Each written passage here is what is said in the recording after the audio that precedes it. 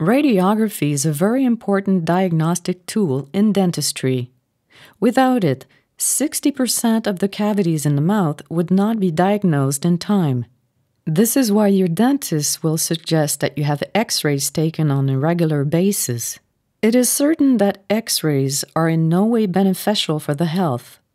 However, it is important to know that with today's technology, the doses of radiation are not what they used to be.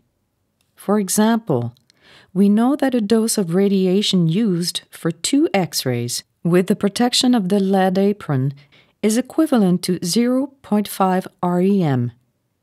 This amount represents what a human being absorbs during a day spent in the sun or when a cigarette is smoked or a glass of wine is drunk.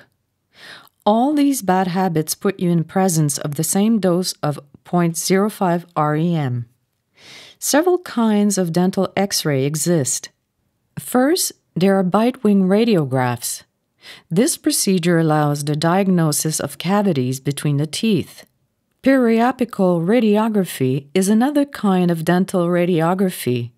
It is used to detect certain lesions such as an abscess, a cyst, or any disorder located at the tip of the root. The panoramic radiograph is often used to do a good follow up of the jaw structures. This type of X ray provides a full view of the tissues that make up the lower part of the cranium. A panoramic X ray every three to five years is recommended unless a particular disorder exists that must be monitored more closely. Cephalometric radiography can be used to evaluate the growth of the jaw. Scanners can also be necessary for the laying of implants or for certain surgeries that require the knowledge of the location of all the tissues bordering the region concerned.